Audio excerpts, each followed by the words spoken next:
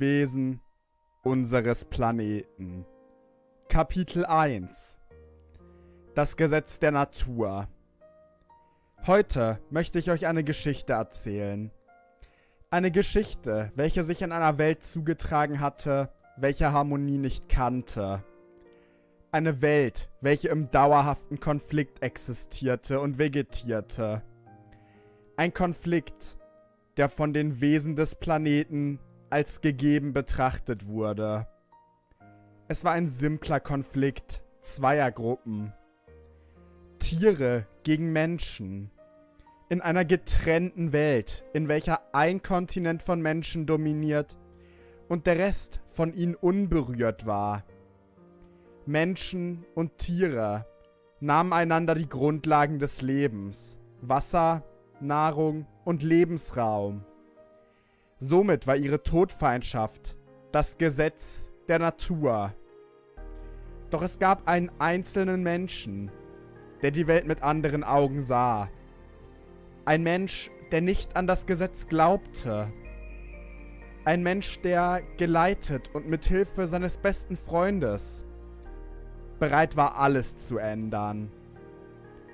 Dies ist eine Geschichte. Dies ist seine Geschichte. Eine Geschichte von Menschen und von Tieren. Es ist eine Geschichte über die Wesen unseres Planeten. Eine unbekannte Sicht vor 100 Jahren. Also willst du mir wahrlich helfen? Bist du dir da sicher? Mein neuer Freund nickte bloß als Antwort. Ich hoffe, du weißt, welche Ausmaße meine Mission hat.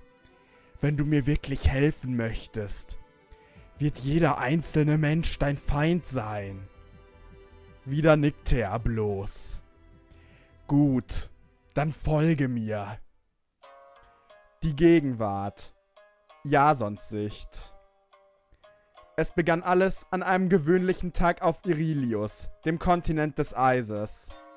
Dem Kontinent, auf welchem sich die meisten Menschen niedergelassen hatten.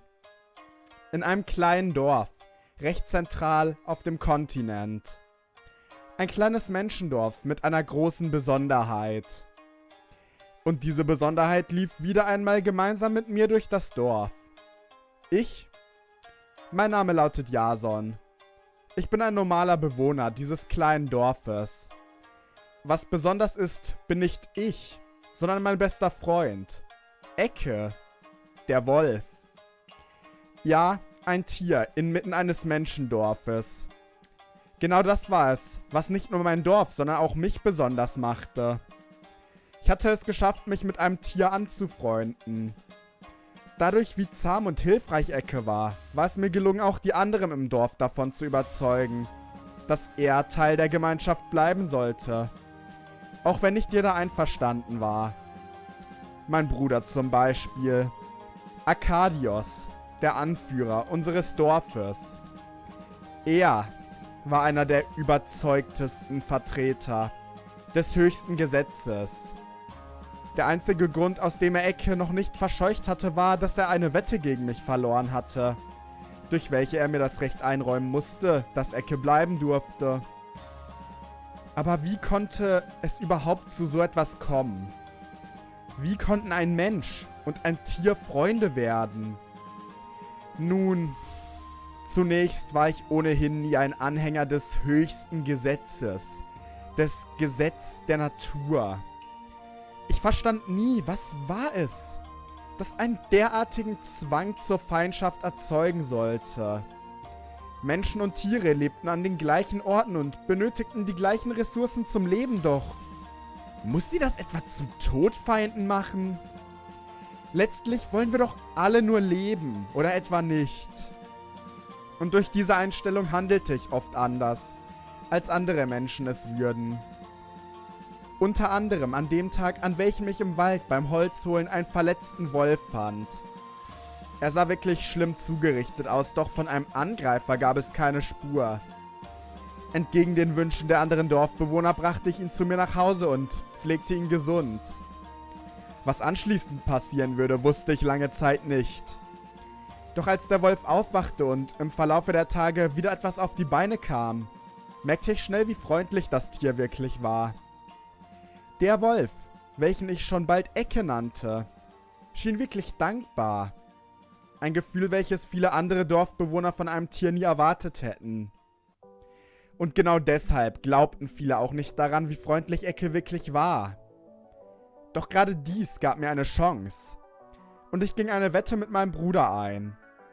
Wenn ich es innerhalb von zwei Wochen schaffen würde, mich mit Ecke anzufreunden und es zu schaffen, dass er dem Dorf irgendwie weiterhelfen könnte, dann dürfe er bleiben, insofern der Wolf selber es wollte. Dass dies der Fall war, hatte ich an diesem Punkt schon gewusst. Ecke schien keinen Gedanken daran zu hegen, wieder in die Wildnis zurückzukehren. Stattdessen blieb er bei mir im Haus. Und wie das Schicksal es wollte, schaffte ich es noch nach nur einer Woche, unser Dorf voranzubringen. Was ich vielleicht noch erwähnen sollte. In unserer Welt haben manche Tiere Kräfte. Die Kraft der Elemente. Und Ecke war ein Wolf des Feuerelements. Mithilfe dieser Kräfte und einem Heizsystem, welches ich damit basteln konnte, schaffte ich es, ein kleines Gewächshaus zu bauen. In einer unwirtlichen, eiskalten Gegend, wie Irilius, war pflanzliche Nahrung rar. Die Möglichkeit, diese effektiv anzubauen, war ein riesiger Schritt. Ein Schritt, welcher ohne Ecke unmöglich wäre. Und dies sahen viele Dorfbewohner ein. Und letztlich musste es auch mein Bruder.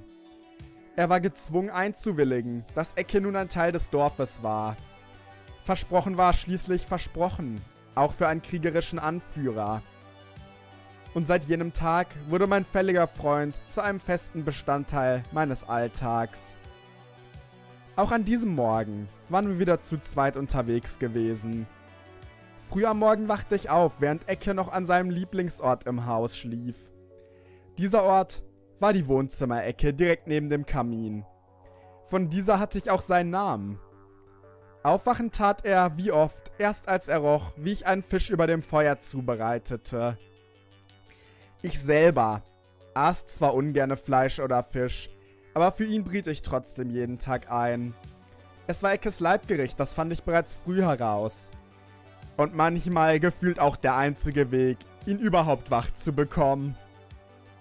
Sobald er dann wach war, rannte er mir wie jeden Tag rund 5 Minuten zwischen den Beinen herum, bis sein Fisch fertig war. Anschließend, nach unserem Frühstück, arbeiteten wir vormittags im Gewächshaus. Die Hauptarbeit fiel hierbei logischerweise mir zu, da Ecke doch nicht ganz so bewandert im Anpflanzen war wie ich. Aber er versuchte zumindest zu helfen. In der Regel führte er jedoch einfach dem Heizsystem wieder die nötige Wärme für den Tag zu. Am Nachmittag machten wir immer irgendwas anderes, je nachdem was gerade anstand. Meistens mussten wir uns dabei nach Arkadios richten, der irgendetwas von mir wollte. Auch an diesem Tag war es wieder dasselbe Spiel. Ecke und ich waren für gefühlt fünf Minuten auf dem Dorfplatz, als er schon wieder etwas von mir wollte. Jason, du traust dich also immer noch das Haus zu verlassen. Das Feuerholz hier im Lager ist fast leer. Geh mal in den Wald und hol Neues. Höflichkeit stand für eine Person wie ihn natürlich vollkommen außer Frage. Aber ablehnen konnte ich schlecht. Also machten ich und Ecke uns mit einer Axt auf in den nahegelegenen Wald. Es gab nur ein kleines Areal, in welchem wir tatsächlich Bäume fällten. An dieser Stelle des Waldes wuchsen sie gut nach und hatten ein besonders brennbares Holz. Gleichzeitig war es recht leicht, was es für uns perfekt machte. Der größte Nachteil an diesem Teil des Waldes war die Leichtgläubigkeit vieler. Denn inmitten dieses Areals stand ein einzelner, großer, schwarzer Baum. Sein Holz wirkte nicht anders als das der anderen, außer des unterschiedlichen Farbtons. Doch trotzdem schienen die Bewohner des Dorfes sich gerade vor diesem einen Baum zu fürchten. Wieso verstand ich ehrlich gesagt nie und...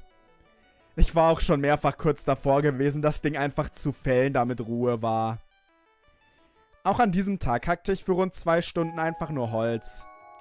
Ecke konnte bei dieser Aufgabe leider außer moralischem Beistand nicht viel helfen, da der Plan tatsächlich war, das Holz erst im Dorf zu entzünden. Aber trotzdem war es schön, nicht alleine im Wald zu sein, auch wenn ich logischerweise keine Gespräche mit einem Wolf führen konnte. Wir hatten bereits einen ganzen Haufen an Holz angesammelt, als mir dieser dunkle Baum erneut ins Auge fiel. Und dies war der Tag, an dem ich letztlich genug hatte. Auch wenn Ecke mich merkwürdig ansah, als ich dorthin schritt, trat ich zu dem Baum und begann ihn zu fällen. Es war endlich Zeit, diesem abergläubischen Schwachsinn ein Ende zu setzen. Auch wenn ich nie an irgendwelche dunklen Kräfte oder ähnliches glaubte, schon gar nicht an solche in einem normalen Baum, machte mich Eckes Verhalten doch etwas nervös. Ich hatte ihn selten so erlebt wie in diesem Moment. Er hielt deutlichen Abstand zu mir und starrte ausdruckslos auf den Baum. Nun überkamen auch mich langsam Zweifel, aber ich hatte bereits erste Schläge gesetzt. Nun noch zu stoppen war Schwachsinn. Genau wie meine Sorgen, die sich breit machten. Also machte ich weiter, auch wenn mein schlechtes Gefühl weiter und weiter anwuchs. Je mehr Hiebe ich setzte, desto eher fühlte ich auch eine eigenartige Ausstrahlung des Baumes. Als würde die Dunkelheit aus seinem Holz strömen und in die Umgebung freigesetzt werden. Alleine da ich sie freisetzte. Und nach einigen weiteren Hieben fiel der Baum. Und sein Holz verschwand einfach im Nichts. All die Arbeit umsonst. Sowohl Stumpf als auch Stamm verschwanden einfach. Und dort, wo gerade noch der Stumpf war, waren nun Treppen zu sehen. Der Baum verbarg also tatsächlich ein Geheimnis. Und ich würde definitiv nicht umdrehen, ohne die Wahrheit noch herauszufinden. Ich geh gucken, was dort unten ist, Ecke. Wenn du nicht mitkommen willst, dann warte einfach hier auf mich. Gut, ich bin gleich zurück. Außer einem nervösen Fiepen kam keine Reaktion vom Wolf. Also entschied ich mich, einfach die Treppen hinunterzusteigen. Die Wurzeln des Baumes waren hier in der Erde noch überall verankert und durchzogen die Wände der Treppe. Sonderlich tief nach unten ging es nicht, also kam ich bereits schnell in einem langen Gang an.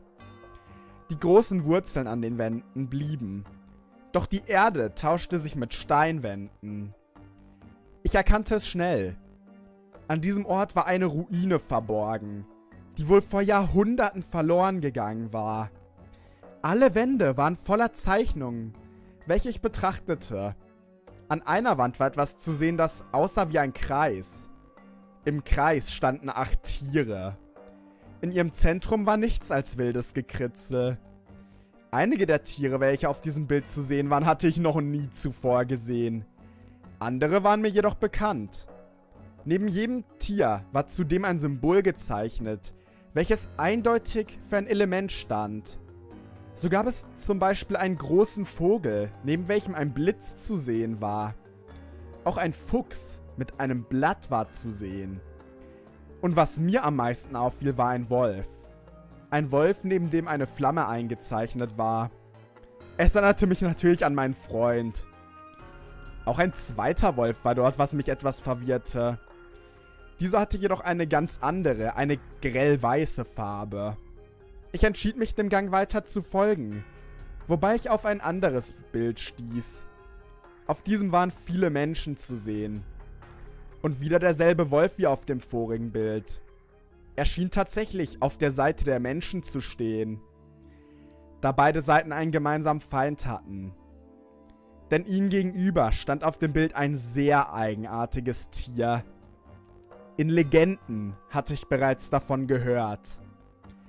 Es war ein Einhorn. Eine Art Pferd mit einem großen Horn am Kopf. Und auf diesem Bild schien es gleichzeitig zu leuchten, hell wie die Sonne und doch Schatten zu tragen, dunkel wie die Nacht.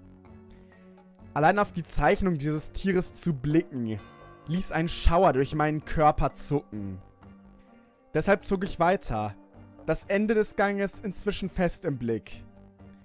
Nur ein einziges letztes Bild lag noch vor dem großen Saal am Ende des Ganges.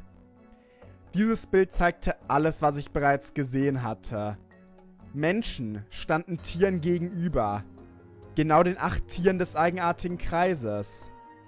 Doch über den beiden streitenden Parteien schwebte noch immer das höchste Wesen.